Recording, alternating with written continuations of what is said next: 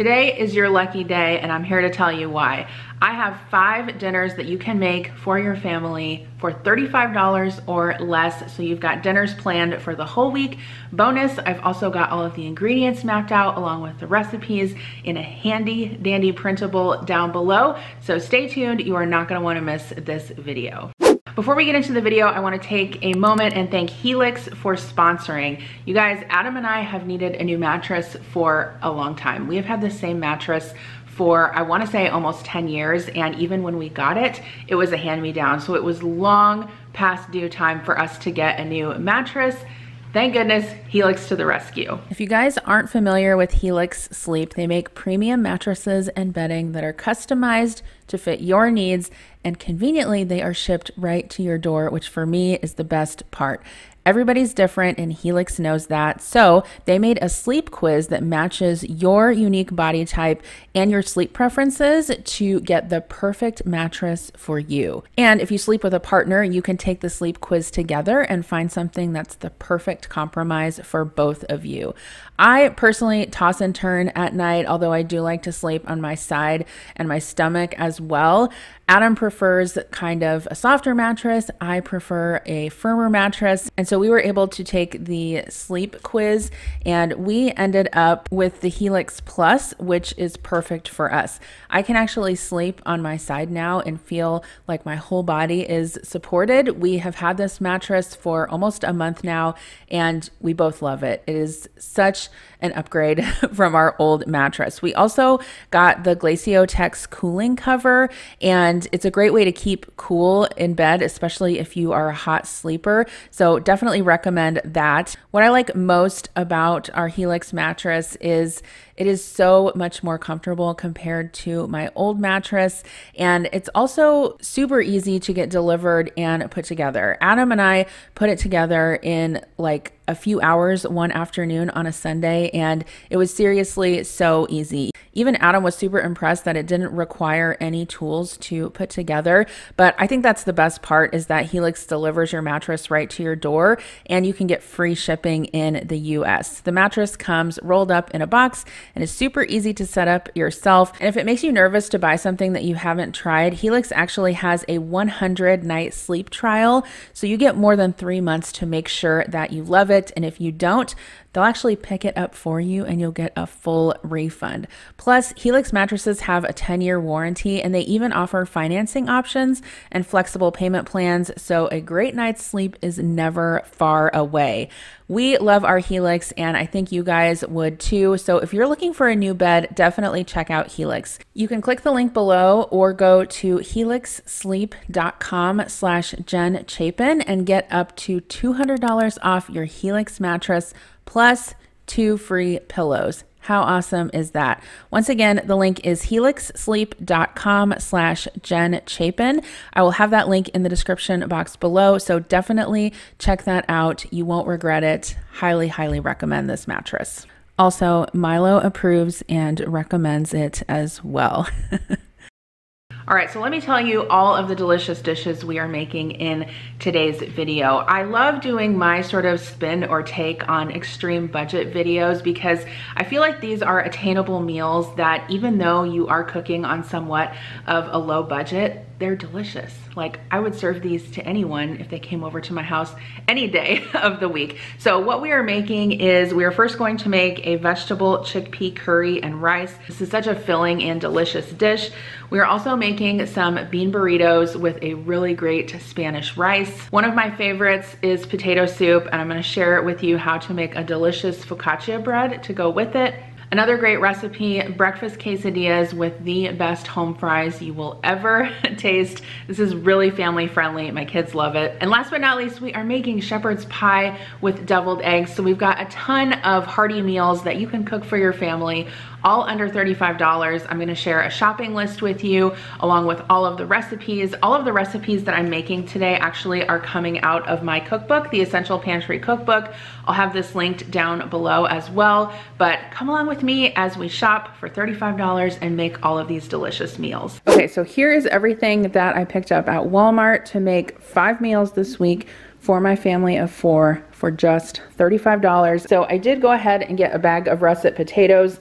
We're actually gonna use these for one, two, three, four of the recipes. So we'll go ahead and make this five pound bag of potatoes stretch. It's a great deal at $2.78. I got two limes for a couple of the recipes. These were just 25 cents each. I got a bunch of cilantro. This is gonna add some good flavor. This was 88 cents. I got a dozen eggs. We're going to use this for several of the recipes and a dozen eggs at Walmart or at least at my Walmart is $3.51.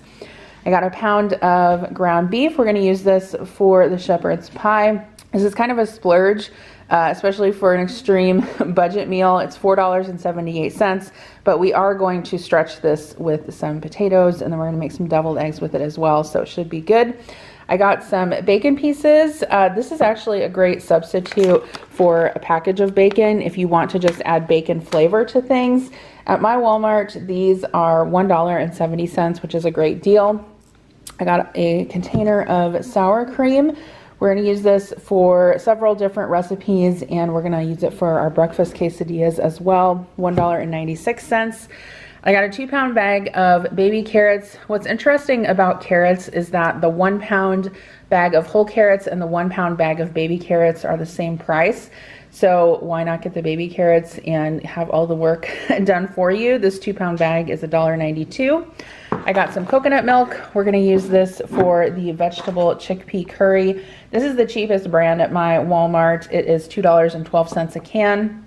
I got a can of chickpeas. We're gonna use that for the curry as well. Those are 78 cents. And then for the bean burritos, I got three cans of pinto beans. Um, these are 78 cents a piece. Now, obviously, if you wanted to save way more money, you could cook your beans yourself. However, it does take additional time, and I wanted to show how you could do it without cooking your own beans. I got some tomato paste. We're gonna use this for some good flavor for the shepherd's pie, 76 cents.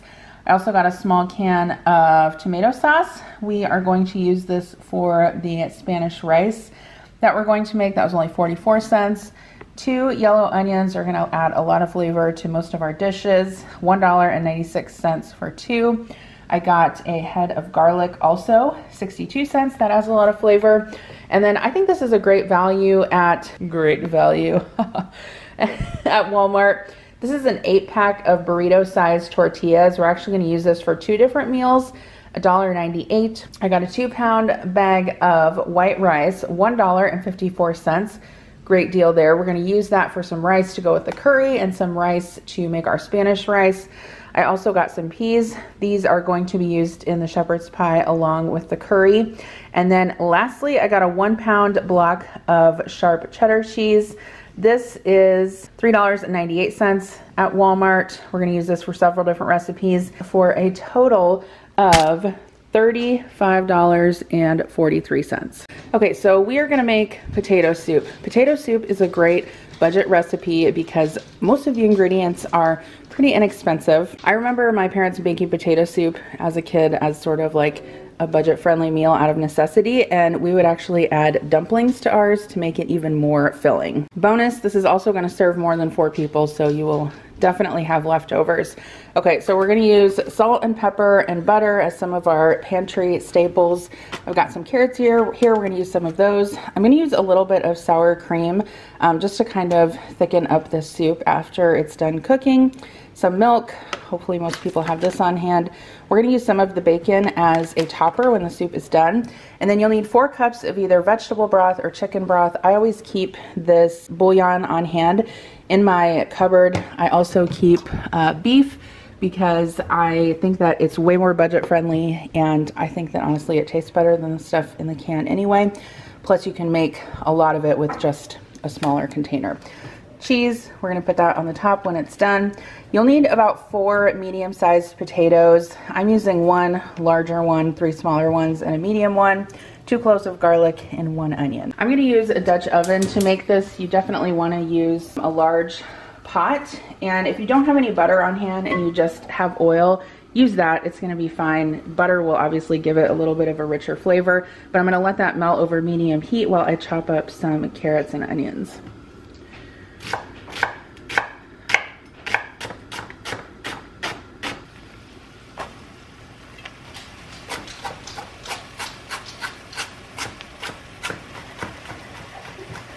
Okay, so I've got my onion, carrots, and I went ahead and minced my garlic and put it in there. Um, I'm just gonna saute this over medium heat for probably about 10 minutes while I peel my potatoes. I would also say that even if you are not a huge fan of onion, definitely still include it in this recipe. You won't even notice it in the final dish uh, because we're gonna cook it and you'll still get the flavor in there. So our onions are softened. I have peeled and chopped my potatoes, so I'm gonna go ahead and add those. I like to chop them fairly small because I want to make sure that obviously when you're eating the soup that you can get them on the spoon. Okay, so I stirred that up. I'm to go ahead and add my broth.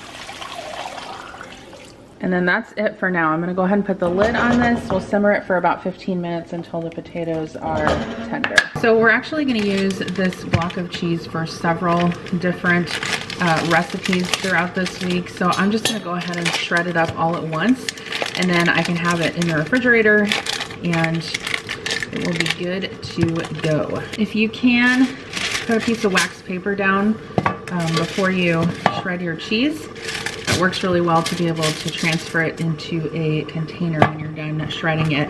And I really like this box grater that I have because it has these larger holes for grating cheese, but obviously use any size you want.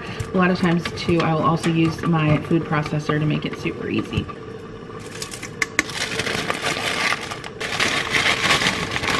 To go with that, I wanted to make some focaccia, and this is a super easy recipe that I almost guarantee you you have all of the ingredients for already in your pantry. So the first thing for the focaccia is to get the yeast activated. I've got a measuring cup with 3 fourths of a cup of warm water in there.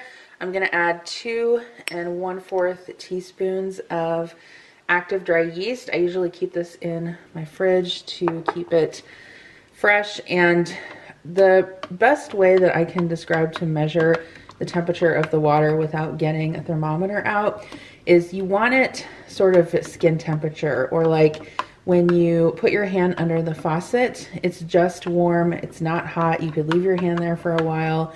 Uh, sort of like how you know you would run a bath for your kids, like warm but not hot.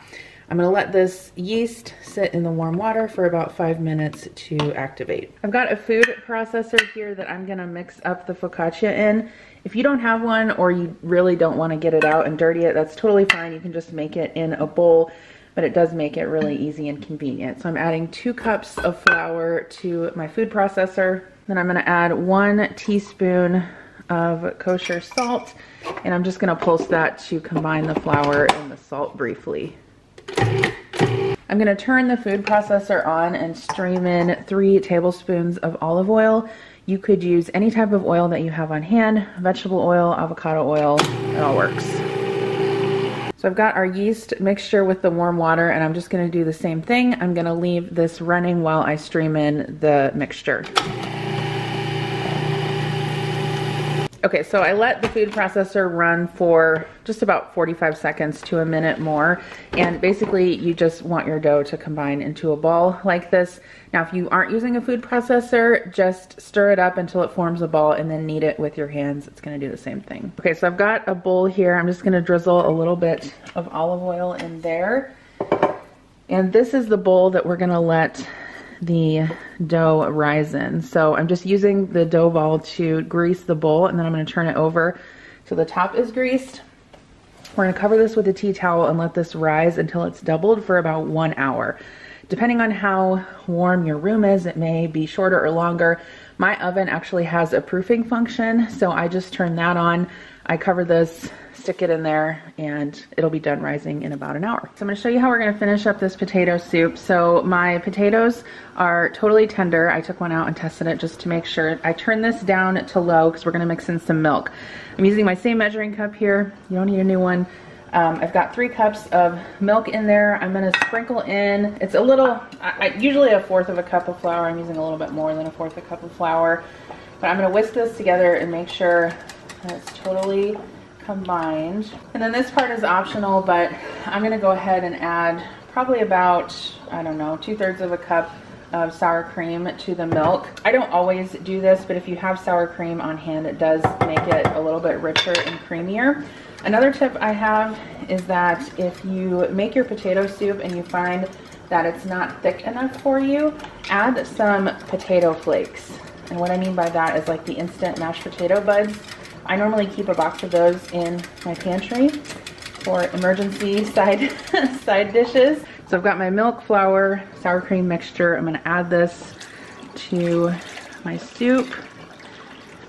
And because we used the Knorr chicken bouillon, um, that in and of itself has a bit of salt in it. So you're gonna wanna taste this before you add salt and pepper. I'm gonna put the heat back up to medium and just let it come to a bubble. So I'll show you guys the focaccia dough. You can see here that it has risen nicely. So I'm gonna go ahead and punch it down. And then I'm gonna cook this in a pie plate. You could use like an eight by eight dish if you wanted. I like cooking it in a pie plate because then you can cut it into wedges. I think it looks pretty. So I'm gonna oil that. Now, how you wanna do this is you wanna make some dimples in the top of the bread because we're gonna drizzle a little bit more olive oil over this and sprinkle it with some seasonings. Okay, so we're gonna drizzle with just a little bit of olive oil. Sprinkle it with some salt. And then I'm gonna sprinkle just a little bit of Italian seasoning on top. I have my oven set to 425 degrees, so I'm gonna pop this in there and we'll bake it, uh, I don't know, 15 to 20 minutes until it is finished. So this took about five minutes to thicken up. You just wanna keep an eye on it because once it comes back up to a simmer, you wanna turn it down and make sure you stir it often because now that you have milk in there, it can have a tendency to kind of scald on the bottom. I'm just gonna take a taste of the broth and see if we need more salt. So I actually don't think it needs more salt, but I am gonna add some black pepper if we haven't added any of that yet. Probably about I don't know, it's probably half a teaspoon. Okay, so this consistency is totally fine for me because we like to add crackers to ours, but if you want it thicker, like I said, go ahead and add some potato flakes. Okay, so here's the focaccia. I've let it cool and, I mean, it's still warm, but I've let it cool a little bit. So I'm gonna go ahead and cut this into wedges. Normally I like to cut it into about six wedges. And oh, can, is it like garlic bread? Yeah. Oh, And you can see like how fluffy and tender it is inside. I always tell people if you're not sure about cooking or baking with yeast, start with this specific recipe because it's super easy and it's very fail proof. So we're gonna serve up some of this potato soup. I have these very nifty uh, soup and sandwich plates. I can link them down below if you're interested.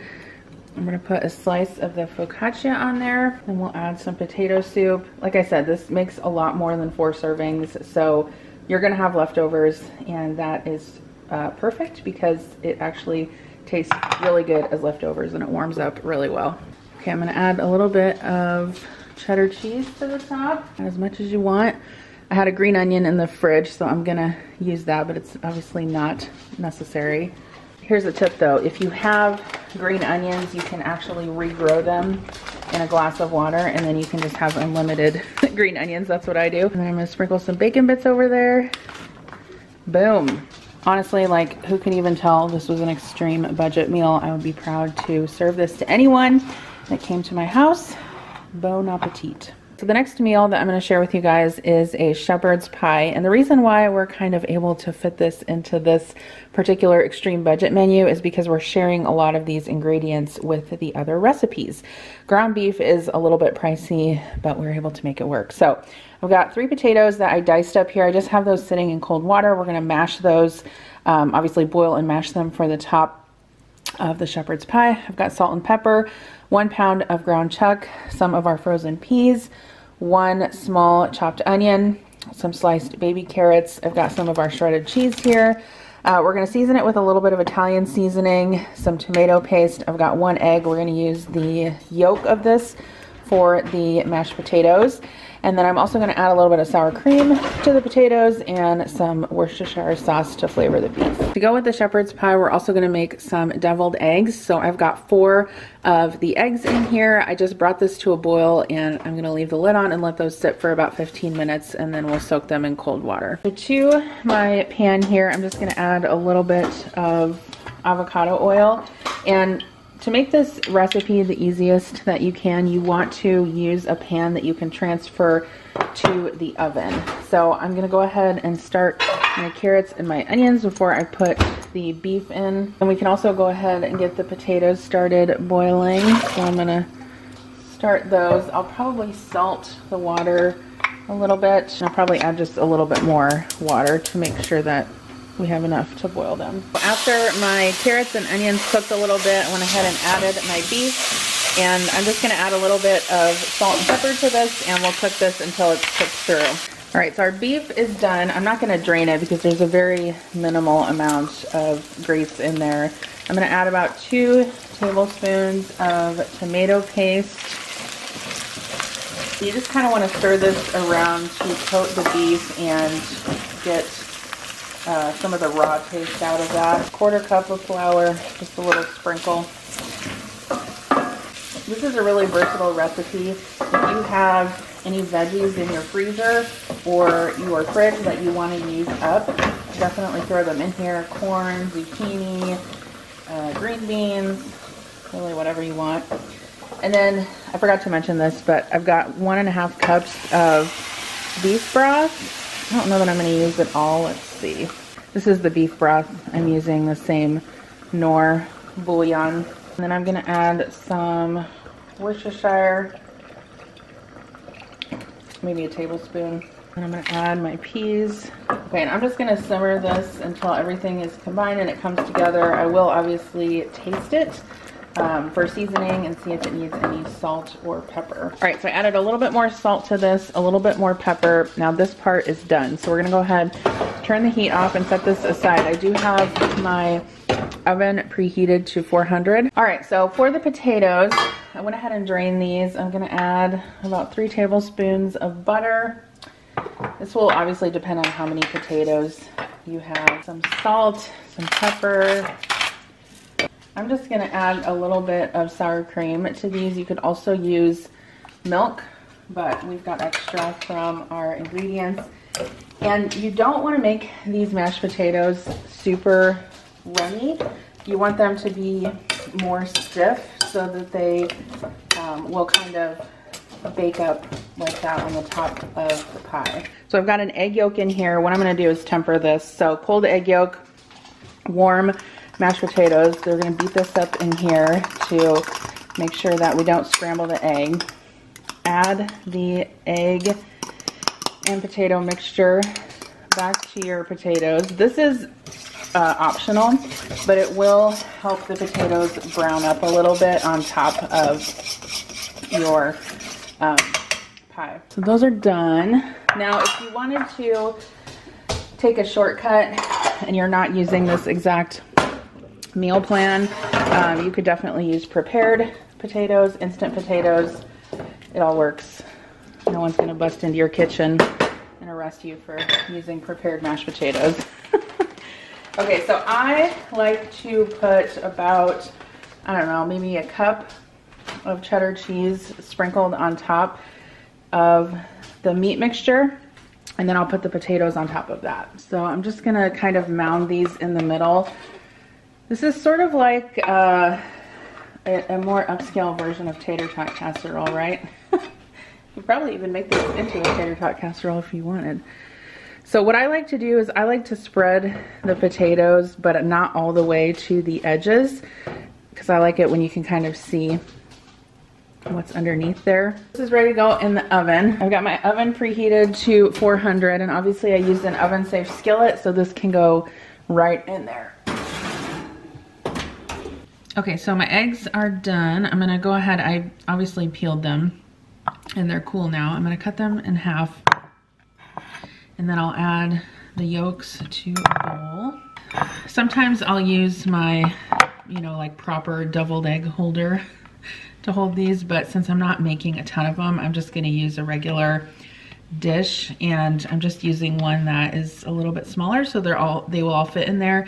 Obviously I like to make these ahead of time so they can chill for a little bit. Got a fork I'm just gonna go ahead and mash these yolks up a little bit. And then I just keep mine super simple. I'm gonna add in some mayo a little bit of mustard because mustard's quite strong.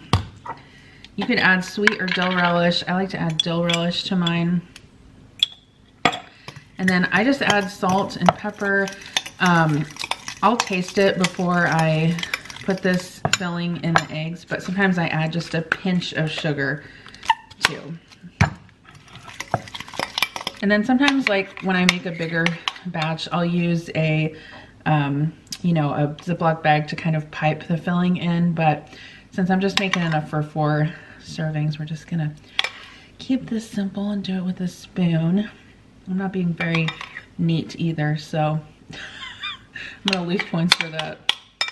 Okay, so here is our completed shepherd's pie. I will give you the fact that it's not probably as beautiful as it could be. Um, some of the tomato kind of like seeps into the potatoes and you know what? It's fine. There's cheese under there. It's delicious. One thing I would say about this is that you definitely want to let it sit for like 10 minutes after it comes out of the oven. Otherwise, it is very um, like soupy and runny. It will run all over your plate. So here is our shepherd's pie meal that we are having. Once again, you're not going to win a beauty contest for this meal, okay? But it's really good and hearty and it's going to fill you up because it's got a ton of protein in it with the ground beef. You've got the potatoes and then the deviled eggs on the side.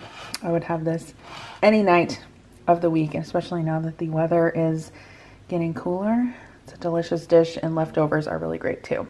All right, so the next budget meal we are making is bean burritos with some Spanish rice. So for this, I've got some pinto beans, some garlic, some lime juice that gives really good flavor to the beans. So I'm just going to take the cans of pinto beans and drain them over a bowl. You definitely want to save the liquid because we're going to use that to thin out the refried beans.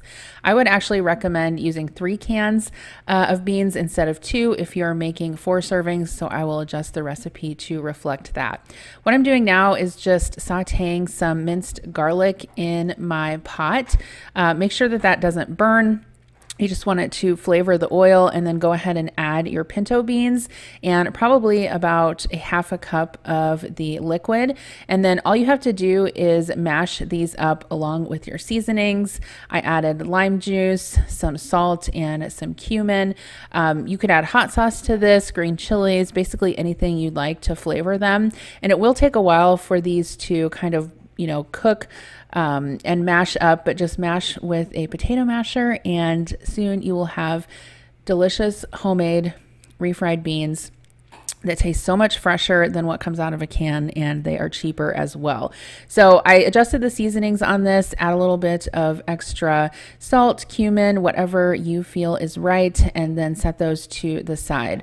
For the Spanish rice, I will have this recipe down below as well. I am toasting about two cups of that long grain white rice in a pot.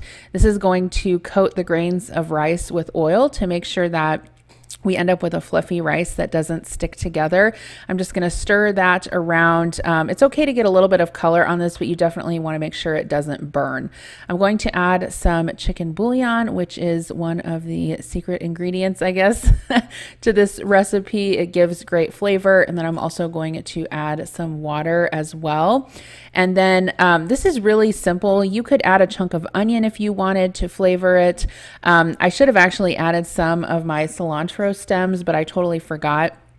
Um, that gives it great for, great flavor too. I'm adding my seasonings, my tomato sauce, and then you want to cook this covered over pretty low heat um, for about 30 minutes. It definitely depends on the heat on your stove. Just keep an eye on it and make sure that the liquid doesn't evaporate too quickly. You definitely want to give the rice a chance to cook and fluff up um, and you know not run out of liquid. Once it's done leave it to sit for about 10 to 15 minutes. That's going to complete the cooking. And here is that perfect spanish rice nice and fluffy. Okay so we're going to go ahead and assemble our burritos. So i'm going to take four of these large flour tortillas from walmart. I really like these. I'm going to add some beans to that. I'm also adding some of the spanish rice to this and then i'm going to add a little bit of our shredded cheddar. This is definitely a filling meal and it's great for picky eaters because it's just basically beans, rice, and cheese. I'm going to roll this burrito up and what I like to do is toast my burritos in a dry skillet just to kind of um, get some texture on the outside of the tortilla and then it also helps keep the burrito together. So I just basically put it in a skillet with medium heat and let it brown on the outside. And this is what it looks like. Totally delicious. We've got our bean and rice burrito with cheese with some extra rice on the side. I garnished it with cilantro. This was so, so good. You could definitely serve it with some of the sour cream and salsa. Look away if you don't eat carbs. okay, next up we are making a vegetable chickpea curry and rice. So we'll need some chickpeas, some potatoes, peanut butter. I know sounds super weird, but it adds a good flavor to the sauce also a can of coconut milk. And then I've got quite a few spices here. So turmeric, salt, Spanish paprika, some cumin, and some garam masala. I've also got a little bit of brown sugar and then some soy sauce as well. Um, just a tip with the cookbook that I wrote, um, it has a pantry list of ingredients that I recommend. So if you have that cookbook, you will definitely be able to find all of these spices in there. And if you're looking to build a pantry, it's a great resource as well. So I'm going to start by sauteing my carrots and onions in a skillet with a little bit of olive oil. And then I am going to mince up some garlic. I'm just sauteing these over medium heat make sure that they don't burn, um, getting them a little bit soft. And then I'm also going to toast my spices. So I added that to the skillet and I'll just heat that up for a couple of minutes just to kind of bring out the flavor um, in those spices. Obviously, they've been sitting in the cupboard, and this is a great way to sort of bloom them. Then I'm going to add my uh, coconut milk. Don't worry if this looks a little bit chunky, that's fine. It's cold. I'm going to add a splash of water and just cook that over medium heat. If you are a curry lover, you will definitely love this recipe. I also did not show this, but I cubed up my potatoes into small cubes and boiled them for about 15 minutes until they were soft. And I will be adding those to the curry as well. I love cooked potatoes in my curry. Obviously, you could add any vegetable to this. I think peppers would be good. You could add broccoli, cauliflower, whatever you want. I'm going to go ahead and add my soy sauce and my brown sugar. I know this kind of seems like an odd combination of ingredients, but just trust me, it gives it a really, really good flavor. I've also made this recipe before with chicken and it turns out really good too. I'm going to add some lime juice for a little bit of brightness. Don't forget to add your potatoes in there as well. Um, and you basically you just want to kind of simmer this so that the flavors meld together.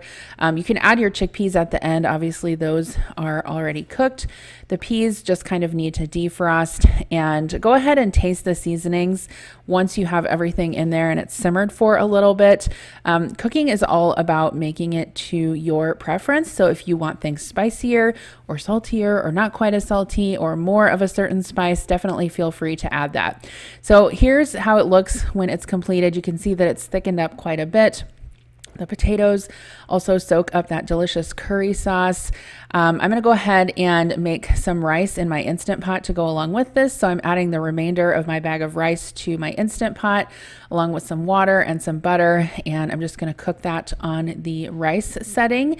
Uh, did you know your Instant Pot has a rice setting? Yes, it does. and it works great. So I'm going to go ahead and let that cook. Um, this is my favorite way to cook rice. I don't have a rice cooker. You can also cook rice in the oven. I have several, um, or actually one recipe in my cookbook for baked brown rice, which makes it super easy as well. Um, if you're doing low carb, you could also serve this with uh, riced cauliflower or you could also just serve it in a bowl with some naan. It would be great that way as well. Once the rice is done cooking, I went ahead and fluffed that up, and we're gonna go ahead and serve uh, a big bowl of this alongside of that curry. So you can see I put a bed of rice on the bottom with our vegetable curry on top, garnished with some cilantro. Definitely a delicious recipe that is budget friendly. So for this budget meal, we are making breakfast quesadillas and the best fried potatoes or home fries that you have ever had. So what I've got here is seven eggs. Uh, we're going to beat those up with a little bit of the sour cream. That's what's going to be the filling for our breakfast quesadillas along with some bacon bits. I've got salt and pepper and then I like to season my fried potatoes with like some type of seasoning blend. So I'm going to use this Alpine Touch, but you can use whatever you have. I've got some butter, some cheese for the quesadillas, and then these are potatoes that have been cooked. So what I did with these four potatoes, and I chose four that were about the same size, is I scrubbed them, I left the skins on, I put them in a pot and covered them with water. I put them on the stove, brought them to a boil, and then I cooked them until they were tender. So about 20 to 30 minutes. It really depends on the size of your potatoes. But now that they're mostly cooked, they're gonna fry and crisp up beautifully in the pan. And this is gonna be a really delicious, low cost meal that is really different than your standard, you know, breakfast burrito. Okay, so for these potatoes, I'm gonna go ahead and kind of peel them with a paring knife. You could use a peeler if you wanted to, but I find once they're cooked, the peels just slide right off with a paring knife. So you do you, use what's easiest for you in your kitchen, but I find this works really well. Okay, and then I'm just gonna cut these up into kind of medium-sized cubes, and then we'll go ahead and cook them up.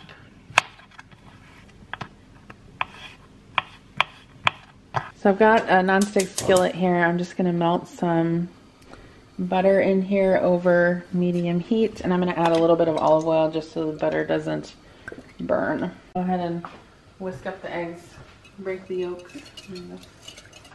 ASMR. ASMR. Here, do you want to put the pepper in? Yeah. Yeah. All of it? Yep, all of it. And splash it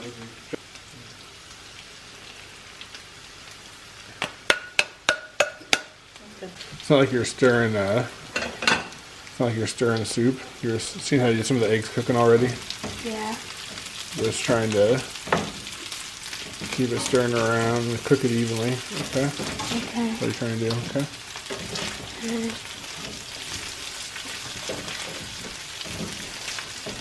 Mom, it's almost done. Yep. You can see our potatoes are getting nice and crispy. That is obviously the benefit of cooking the potatoes beforehand. Um, and you can hold them like that in the refrigerator too. Like if you want to boil them beforehand and keep them in the fridge for a couple days before you crisp them up. If you try to cook raw potatoes in a skillet and fry them up, um, most of the time they'll burn on the outside before they are able to get crispy on the inside. Ow. Potatoes are probably one of my favorite foods. Me too. Okay, so to assemble my breakfast quesadillas, I'm just going to use the same skillet that I cooked the potatoes in. I just removed the potatoes to a different container. And I'm going to add one of my burrito-sized flour tortillas along with a handful of cheese. Um, I'm just going to add the ingredients on one side so I can fold it over and cook it on both sides. Going to add my eggs. Now obviously whatever you have on hand you can put into these, you know, sauteed veggies or, you know, ham, dice up some ham, put that in there. We're obviously doing our budget meal, so we're gonna use our ingredients that we have from our shopping. Add some bacon bits, do a little bit more cheese on top. That is it, I'll just cook this over medium heat. You want to make sure that you don't cook it too fast or it will burn before it has a chance to melt on the inside. Okay, we're to flip this over. A boom. Perfect. All right, so here's how we're serving up our breakfast quesadillas. These are so good. Um, I've got obviously my quesadilla with the egg, cheese, and bacon in there, side of salsa. Also, we have extra sour cream from our groceries. So if you wanted some of that to dip in, you totally could. You could also mix salsa with sour cream. That would be delicious too. Then we've got our fried potatoes or home fries or whatever you call it on the side. This is probably the simplest meal out of all of them, but it's really, really good. And it's a really great breakfast for dinner as well if you want something different. All right, thank you guys so much for coming along with me on today's video. Don't forget to check out Helix. We have really, really been loving our mattress. I highly recommend them. It was so easy to order it, set up, all of the above. You'll be sleeping like a baby in no time. So click that link down below and check that out. Also, don't forget that I will have all of the recipes along with the shopping list linked down below as well. As always, I wanna thank you for being here. If you wanna check out some other extreme budget videos that I've done, I'll link them on the screen right here. So pick one of those to watch and I will see you in my next video. Bye.